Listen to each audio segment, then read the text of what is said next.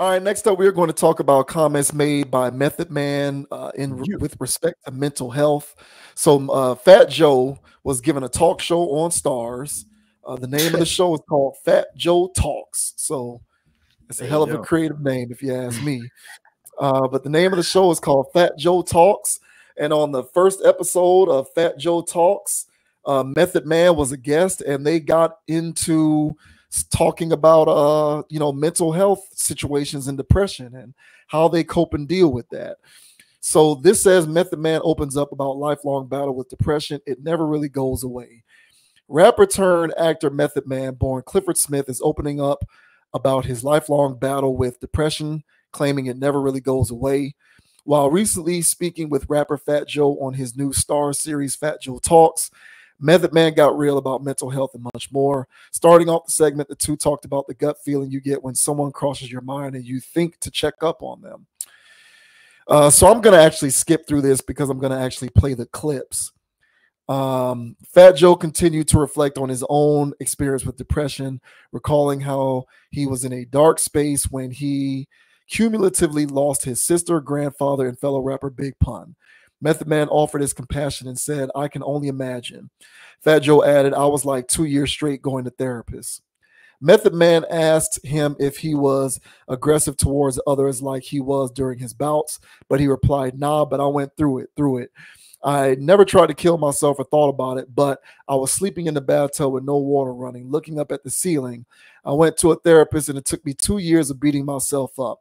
So I tell people you can be in a gang, you can be in anything. And if somebody tries to off you, you can move to another state. But when you're fighting your fight, but when you're fighting, you're fighting your own brain. It's with you all the time. Method Man agreed, agreed and went on to explain how hard it is to cope when you start crying out for help and people look at it as a facade or don't know how to help. So here is a bit of that exchange between these two guys. The point I'm trying to make is every now and then you get a thought about, damn, I wonder what this person's doing. Act on it. Call them.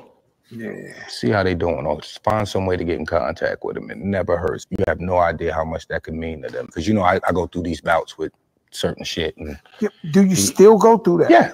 You, it never really goes away. It never really goes away. Uh, you have, like I said, I have bouts with it and things. And Dave saw that, and like, and he just sent me a text message, beautiful text message. I want love. Yeah, and it was like he it spoke to me, big time. And all I could put was all of this with a heart emoji. And I don't even give heart emojis, son.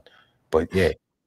It felt good to know that somebody's thinking about you or your right. well-being or your health. You know, I went through depression after my sister died, Pun died, my grandfather, same imagine. time. I can only So I was like two years straight going to therapists and it could be a sunny day, the shit right. look dark outside.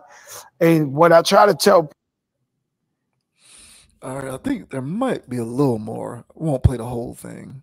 People is was it an aggressive type of uh, depression? No, I went through it. Through yeah, it. like I never tried to kill myself. or never even thought about no, that. I mean, aggressive towards the ones yeah. I was, I was aggressive. Nah, I was just sleeping. I was sleeping in the bathtub with no water running. Wow, yeah, looking up at the ceiling. And I went to a therapist, and it took me two years uh, of beating myself up and so I tell people, you could be in a gang, you could be in anything. Somebody trying to kill you, just move to another to state. Another state, yeah, yeah, right. Yeah. But when you fighting your own brain, it's with you all the time. So you go to the island, you could be in the Fiji island with the bluest water, but you're still fighting that demon. You are, you are. But the illest one is when you do these displays as a a cry for help, and people some see it and just feel like it's a facade or I don't know how they take it, but there's a lot of times those people don't get help. I mean, in the bathtub, that's, oh, no, no. All right, so that that's pretty much the gist of it. Mm-hmm. So yeah, both of these guys respectively went through some dark times and lamented seeking out professional help, going to see a therapist to help them get through it all. So right.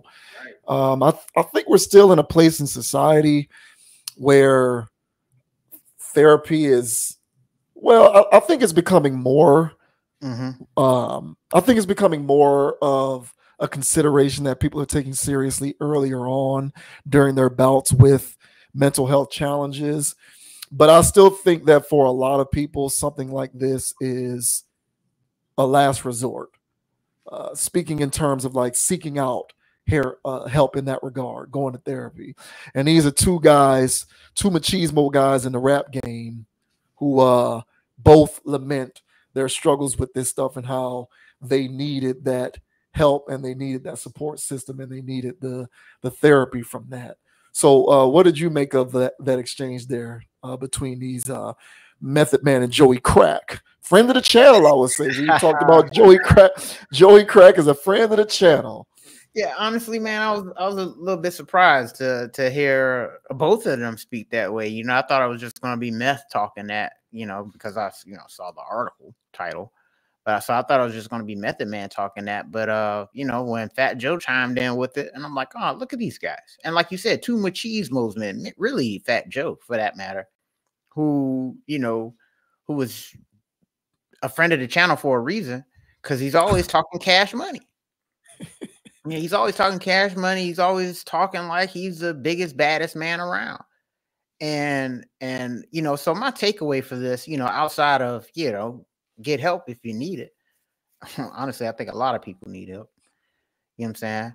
But, but you know, my takeaway from this is for people out there that think that these entertainers got it all together. And a lot of people, a lot of people take the facade that these people present, whether they're on their IG pages, whether they're in a music video, whether they're in a TV show like Method Man, you know, and they take all of these characters and they just think that you know and they're pretty sure that these guys are getting a good check for it every time you see them they're in a nice car you know and everybody thinks that they got it all together but uh you know for them to say that hey man i got dark moments and that was powerful what uh fat joe said that hey man i'm in fiji man that water crystal blue and i'm still going through it. And um yeah man that's real stuff. So for all those people out there that love to compare and contrast, love to look at people on Instagram and compare their lives and not even celebrities, just everyday people, you know, and compare themselves to these people just because they're an influencer and they got that car for free or they're only driving it around for their for their page, you know, and you think that they got it all popping. And they don't.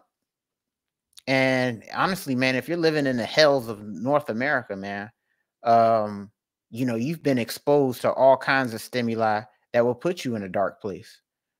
When um, you know, I got my yeah, you know, for, for David Banner out there.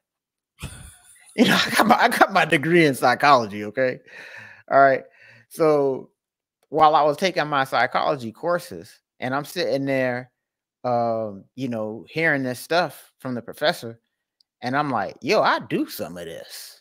You know, we're going, we're going through the DSM and we're going through all of these uh things that you know people get, you know, Baker acted for. and I'm sitting there like, hey man, I low-key do that. And everybody in class was like that. And then so the professor had to stop everybody and go, hey all right, relax. All right there's you know everybody do a little bit of some of these things okay? But it's for the extreme cases of these you know there's a spectrum but this is for the extreme people on a spectrum where it's affecting their lives and everybody else's life around uh, life around them so it's good that you guys are picking up that you have some of these things all right? So try working on it you know?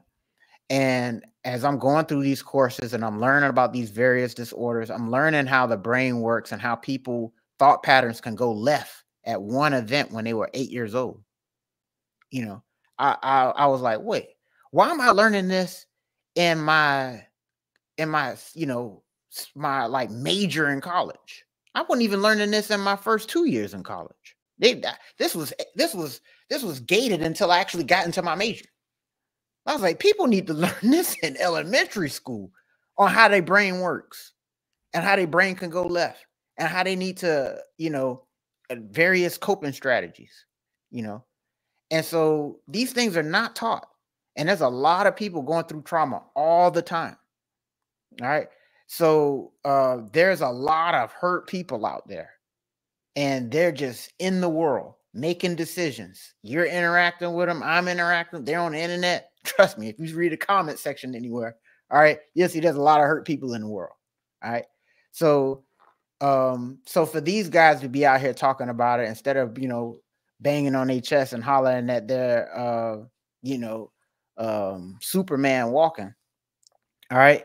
Uh, for them to actually open up and say that, hey man, I actually went through some struggles. Hopefully, some other brothers out here or anybody else that's watching uh could see it and like, hey man, you know what? Maybe I gotta get myself together. Maybe I should, you know, go see somebody because I ain't been right. You know, you know, Fat Joe was sleeping in the bathtub, you know, I was I was sleeping in the car or whatever. You know, maybe I need that. And it's like, yeah, man, maybe you do. So uh most likely you do. And that's not an indictment to anybody that's just because everybody's gone through something. And so when you go through something, you're gonna need help to get up out of that. And you could have went through something 13 years ago and it's still knocking at your door. So there's ways that, you know you, you can get rid of that, if you will. So um, but yeah, what are your thoughts, man, on uh Method Man, Fat Joe talking about some deep stuff, mental health, man? What are your thoughts?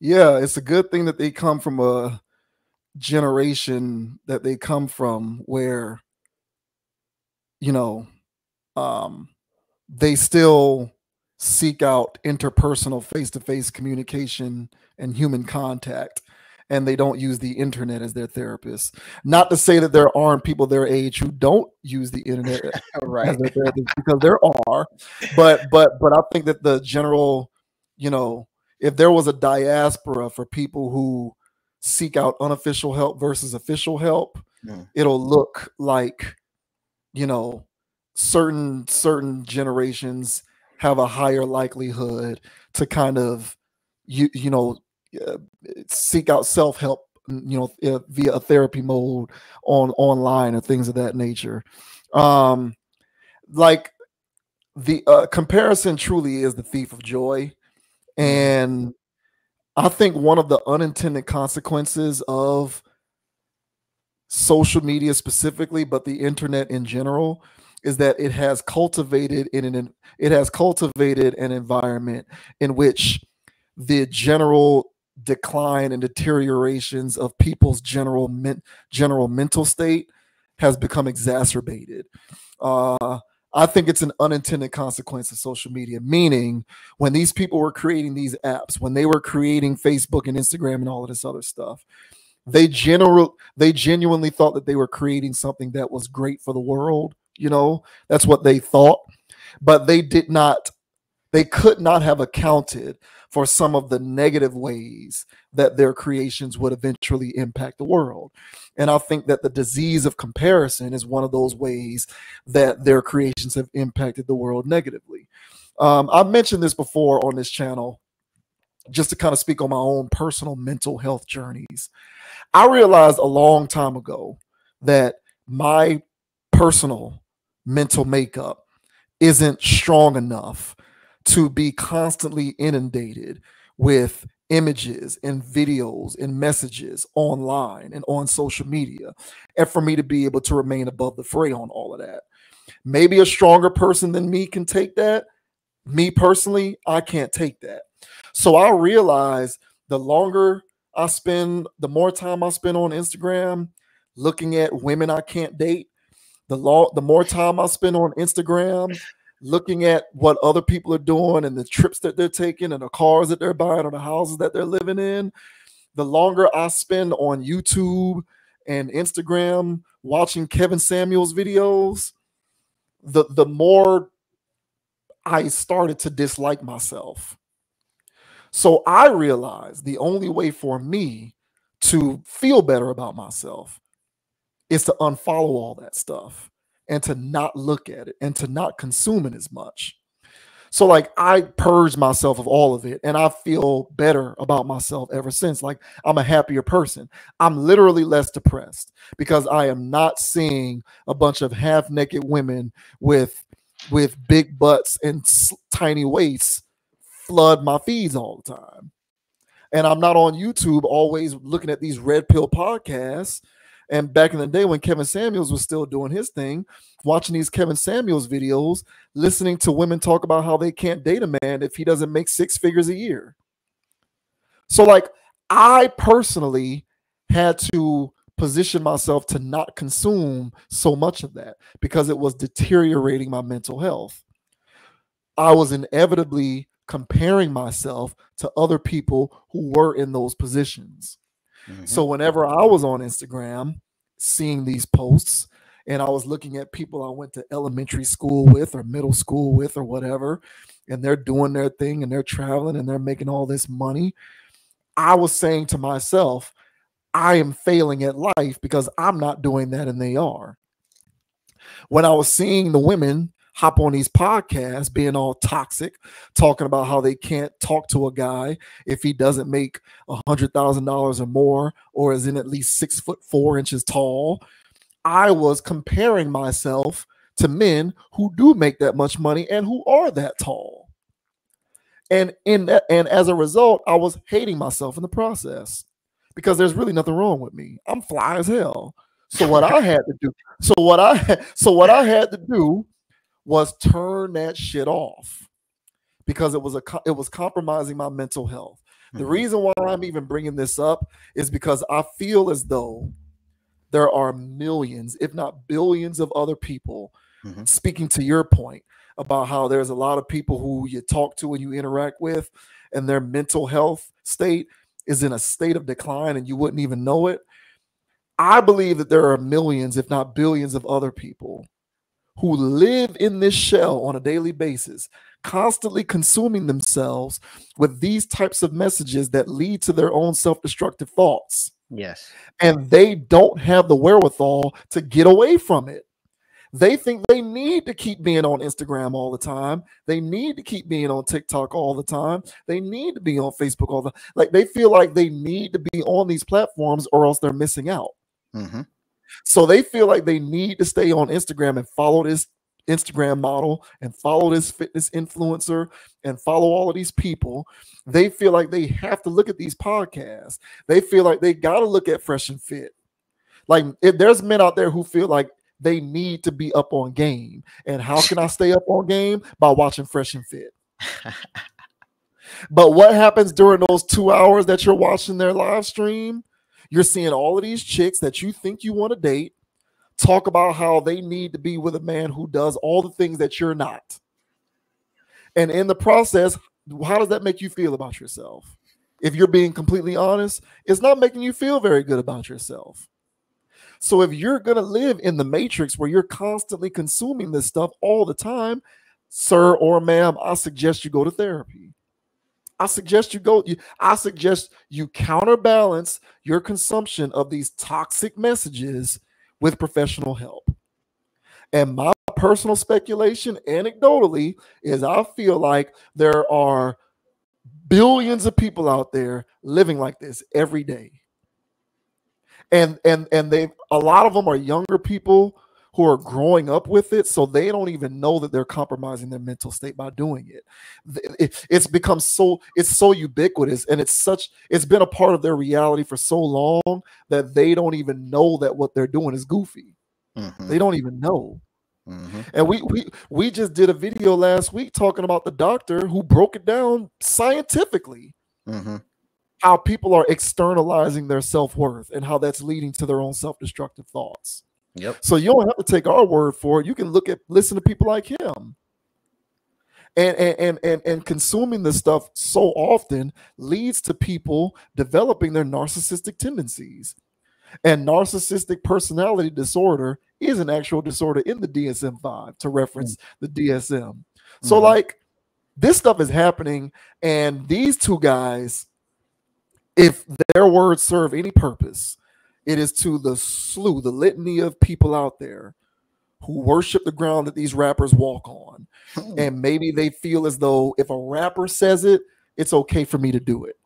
So maybe some of these people who love these rappers and these entertainers so much, if they're talking about how they sought professional help to help manage and cope with and deal with their deteriorating mental state, then maybe they'll do it too because speaking of FAMU, I spent the semester at FAMU.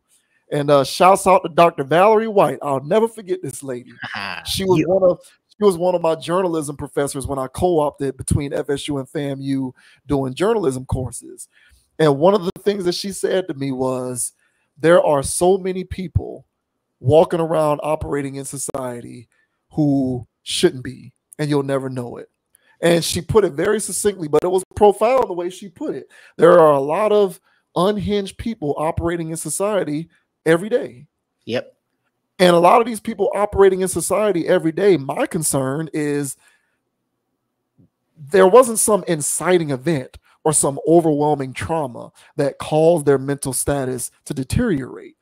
They engage in self destructive behaviors and habits every day that Correct. leads to a gradual decline in their mental status. Yes. They're on Instagram three hours a day. They're on TikTok two hours a day. They're on, and I know I'm sounding like the old guy blaming social media for the world's problems. Hey, listen, everything's in moderation, but you cannot sit here and deny the unintended consequences of some of these applications. Mm-hmm. It's messed up a lot of people. Yeah. It has, myself included. And I'm the guy gas bagging on a microphone. But I had to learn how to get away from this stuff because it was messing me up. So it ain't a man woman thing, a race thing, it's an everybody thing. Um, you know, uh, if if you insist on continuing to remain plugged in, then I would highly advise, as Method Man did, and as Fat Joe did for two years, to seek out that professional help. You might not think you need it because you think you're good and you're not thinking about unaliving yourself, or you're not thinking about running up in a school, or you're not thinking about doing any of the crazy stuff that you see on the news every day. But that doesn't mean that you're not in a that it doesn't mean that you're not in a compromised state. Um, you just don't realize it because the world around you has told you since the time that you were able to think that you need to be on all this stuff all the time. But trust me, if you're on all this stuff all the time, you're amongst those who are probably in need of sitting on somebody's couch and having a conversation.